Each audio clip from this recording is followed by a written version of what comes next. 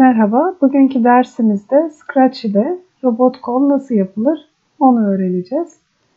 Şöyle buraya Scratch 3 diye yazıyoruz. Nasıl giriş yapacağımızı bir önceki çalışmamızda öğrenmiştik. Şimdi şuradan giriş yapalım.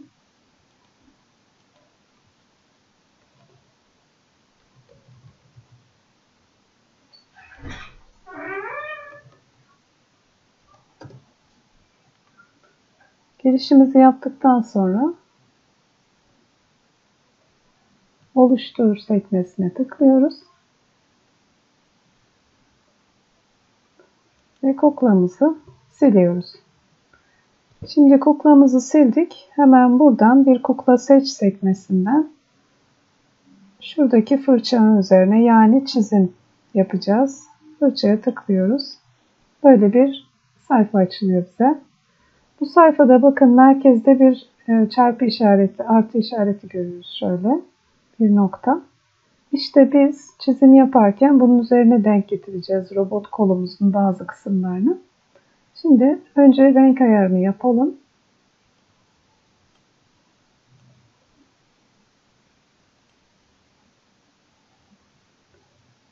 Şunu da 1'e düşürelim çerçevesinde. Daha sonra Şuradan bir daireyi seçili hale getiriyoruz. Ve şuraya bir küçük daire çizelim. Şöyle. Biraz daha büyük olabilir. Şimdi bakın bunun üstüne geldiğim zaman onun üzerinde de o artı işaretini görüyoruz. Bunun ikisini denk getirip tam ortaya bırakıyoruz. Şimdi kareye bir kere tıklayıp altını da bir dikdörtgen çizmeye çalışalım.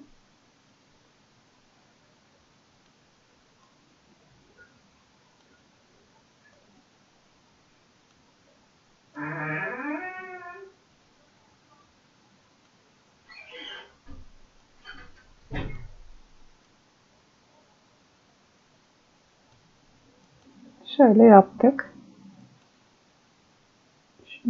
Yuvarlağı belki biraz daha büyütebiliriz.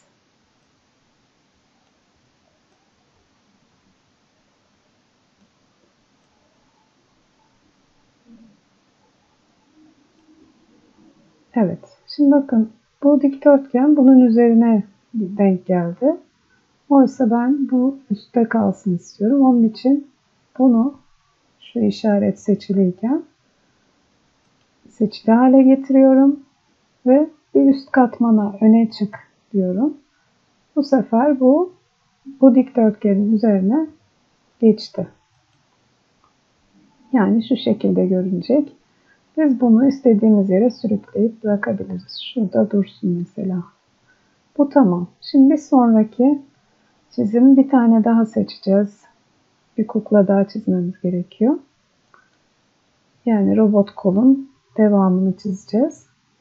Bunun için yine aynı şekilde yuvarlağı aldık. Şuraya biraz daha ondan küçük bir daire çizelim. Onu da yine merkeze denk getiriyoruz bakın. Aynısını kopyasını çıkaralım. Şuna bir kere tıklayın. Sonra buna tıklıyoruz. Şurada kopyala var. Üzerine geldiğinizde kopyala yazısı çıkıyor bakın. Tıkladım. Hemen yanında yapıştır var. Yapıştırdım. İki adet oldu şimdi. Bunu şuraya bırakalım. Daha sonra dikdörtgene tıklıyoruz. Kareye tıklıyoruz. Ve bu ikisini birleştiriyoruz dikdörtgenle.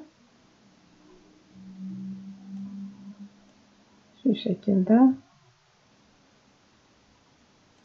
Evet. Bunu da tamamladık. Bir tane de şimdi robot kolun uç kısmını çizeceğiz.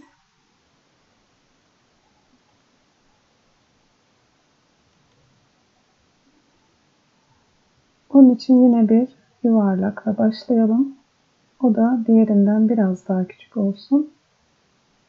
Şöyle olsa yeterli. Yine denk getirdik. Yine kopyasını çıkaralım onun da. Ne yapıyorduk?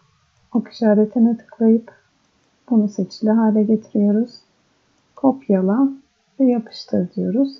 İki adet oldu. Şimdi o şurada biraz beklesin. Ya da şöyle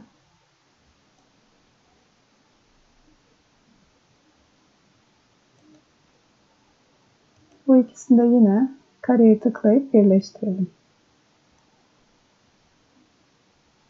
Bu daha bir ince olsun. Uç kısmı çünkü.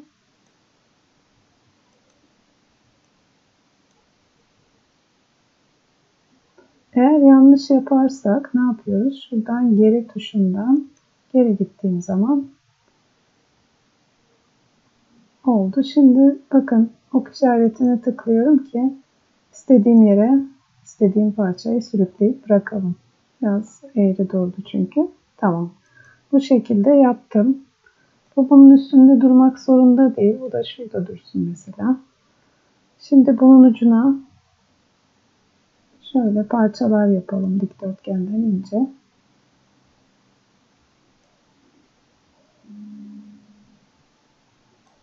Şöyle bir tane yaptık. Bunun kopyasını çıkarmak için ne yapıyorduk? Tıklıyorduk. Seçili haldeyken kopyala 1, 2, 3, 4 tane yapıştırdım. Şimdi bunları sürükleyeceğim. Yine bununla. Birini sürükleyip bu tarafa takalım. Diğerini buraya takalım.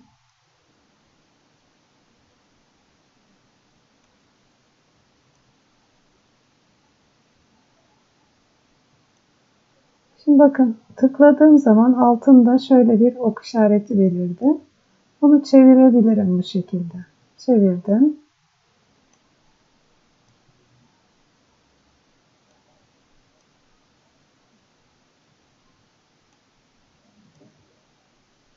Ve sürükleyip buna taktım. Bunu da şöyle yerleştirdim diyelim ki. Hatta bunu biraz küçültelim. Şöyle. Ok işaretleriyle zaten sizi yönlendirecek. Bu şekilde yaptık diyelim. Şunu da şöyle çevirelim.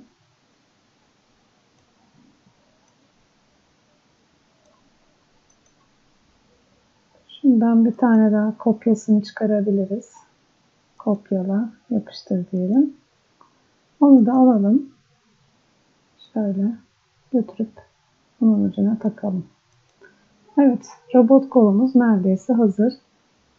Şurasını biraz beğenmedim. Biraz daha düzenleme yapayım.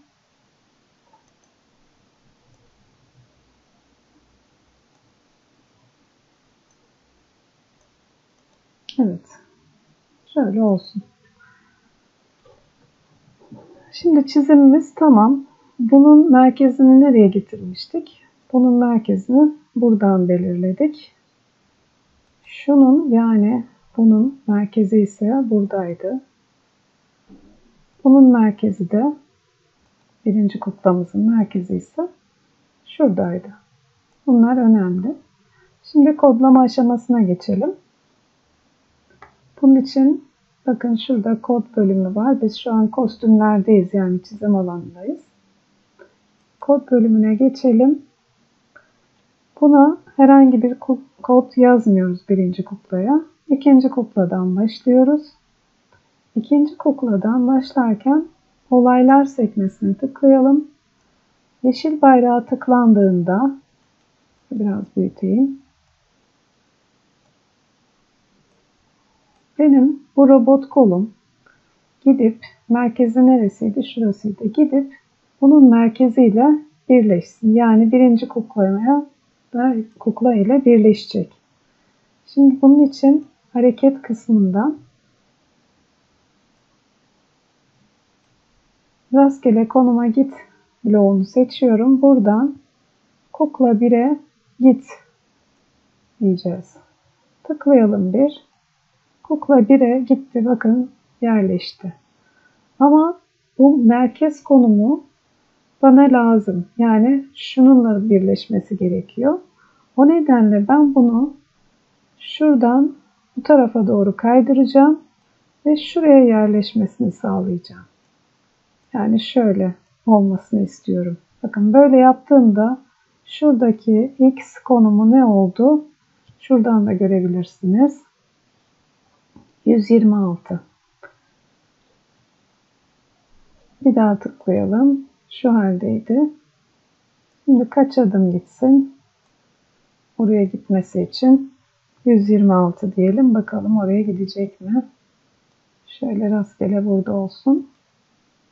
Bakın gitti. Birazcık daha giderse daha iyi olur sanki. 126'yı biraz artıralım. Şöyle rastgele bırakayım yine. 127 diyelim bakalım.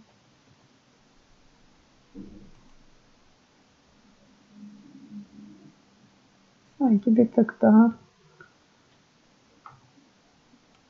129 dersek ne olur bakalım.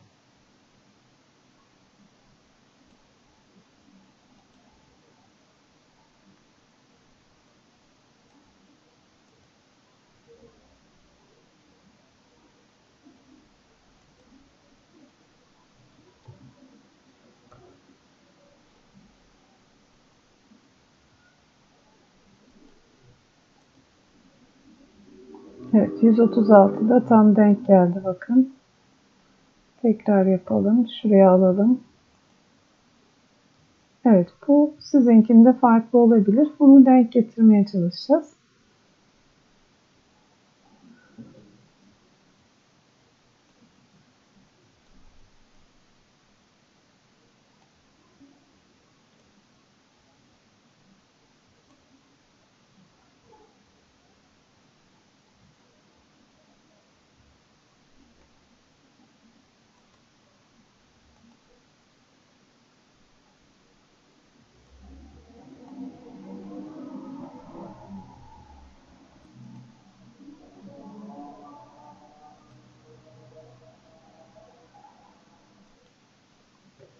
Şimdi biz ikinci kuklamızı komut yazıyoruz şu kuklaya.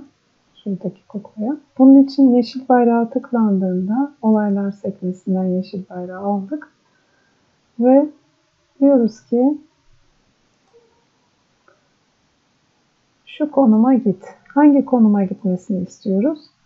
Birinci kuklamızın şu merkez konumuna gitsin, bağlansın istiyoruz. Birinci kuklayla bağlanmasını istiyoruz ikinci kuklamızın. Tıklayalım. Bakın gitti. Buraya bağlandı. Ama biz merkezini burası değil de şurası olsun istediğimiz için bunu şimdi şöyle bu tarafa gitmesini isteyeceğiz. Yani şuraya gelmesini isteyeceğiz. Onun için şöyle bir deneyelim tekrar. Geldi.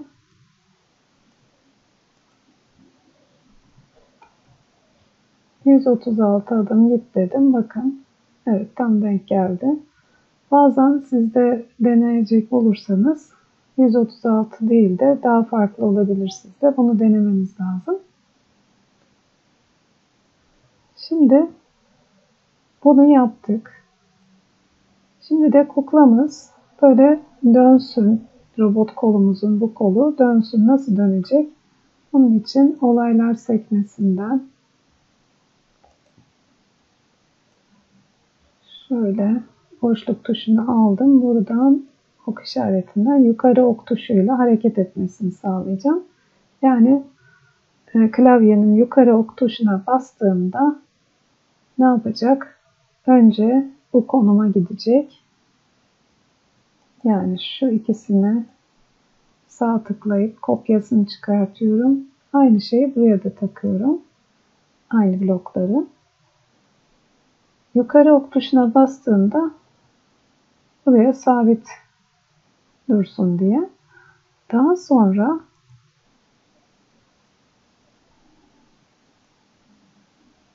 şu derece döne alıyoruz. Derece dön bloğunu ve üçer veya dörder derece dönmesini sağlayalım. Şöyle bakın tıkladığım zaman bu şekilde dönecek. Yukarı ok tuşuyla. Derecesini biraz azaltalım. 3 derece yapalım.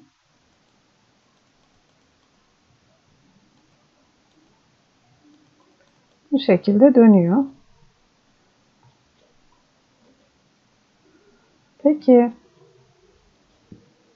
bir de ters istikamete dönsün istersen ne yapacağım? O zaman yine şurası kopyasını çıkarıp şöyle bu sefer yukarı ok değil de aşağı ok tuşuyla çalışsın. Sağa dönmesin, sola dönsün istiyorum. Bu sefer de tam tersi sola dön simgesini, bloğunu getirip buna 3 derece yazalım.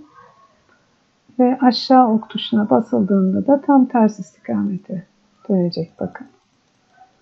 Buna bastığımda sağ, diğerinde sola dönecek. Bunu yaptık. Peki bunu nasıl bağlayacağız buna? Bunun için de şu yolu izliyoruz.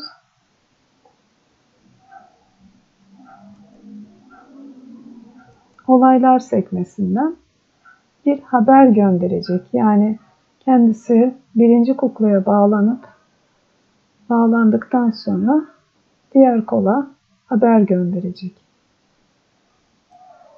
Haber sal bloğunu alıp en altına yerleştirmeden şuraya bir tıklıyoruz. Yeni haber diyoruz. İsim veriyoruz. Ne desin? Bağlan desin. OK diyoruz. Bağlan geldi. Yine haber sağ sekmesini bunun da altına koyup bağlanı seçelim.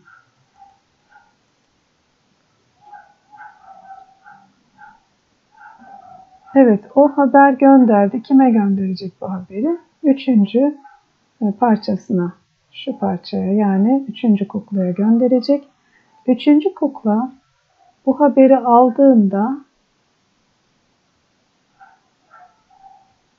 bakın haberini aldığında sekmesi burada var. Bağlan haberini aldığında ne yapacak? Ona bakalım. Biraz büyütelim. Bağlan haberini aldığı zaman o da gidip hangi konuma gidecek?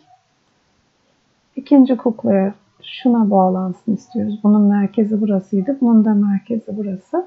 Bu iki merkez birbirine bağlanacak. Yani kukla ikiye bağlanacak. Tıklayalım. Bakın bağlandı bile. Ben şimdi biraz daha bu tarafa getireyim. Hizmet görün diye. Bunu tıkladık ona bağlandı. Üçüncü haber aldığında o da birbirine bağlanıyor. Evet bu şekilde bunu yaptık. Peki bu nasıl hareket edecek? Ona da bir hareket verelim. Bunun için boşluk tuşu değil de o da sağ sol tuşuyla hareket etsin. Sağ tuşa bastığımızda ne yapsın? Kukla ikiye bağlanacak yine her zamanki gibi. Yani kukla ikiye git diyeceğiz. Ve altına da ne tarafa dönecekse onu yerleştireceğiz. Şu kadar derece dön mesela. Bu da yine 3 derece 3 derece gitsin. Sağ ok tuşuna bastığımızda o da harekete geçecek. Bunu klavyenizin sağ tuşuyla da hareketlendirebilirsiniz. Aynı şekilde bunu da kopya sağ tıklıyorum fareyle şunun üstündeyken. Kopyasını çıkart diyorum. Şimdi bunu sağ ok değil de sol ok tuşuna basıldığı basılınca kukla 2'ye git yani buna bağlan demek. 3 derece sağ değil de sola dön yapacağız. Şimdi artık kepçemiz, robot kolumuz hazır. Şöyle yukarı aşağı yaparsak İkisi bir dönüyor bakın. Yukarı tuşuyla çeviriyorum şu anda. Aşağı tuşuyla da tarafa dönüyor. Sağ tuş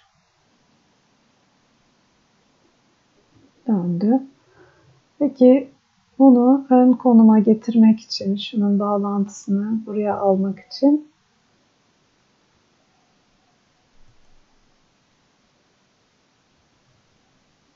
ona da bakalım. Ön katmana git dersek o da ön tarafa gelecek. Evet. Bu şekilde üste geldi bakın. Tamam şimdi bunu yaptık. Ee, bir de ne eksiğimiz var şu anda? Arka plan. Arka planımız yok. Bunun için de bina dışı diyelim. Bakalım hangi arka planlar var. Mesela şurayı alabiliriz. Böyle geldi. Şimdi arka plana da bir e, şey yazabiliriz. Olaylar tıklandığında bu arka planı biraz daha soluklaştıralım. Görünümden dekorun ismi kanyon. Kanyon dekoruna geç diyoruz. Yeşil bayrağı tıklandığında kanyon dekoruna geçecek. Ve de etkisini değiştir değil de şöyle yapalım. renk etkisi değil de hayaleti seçelim.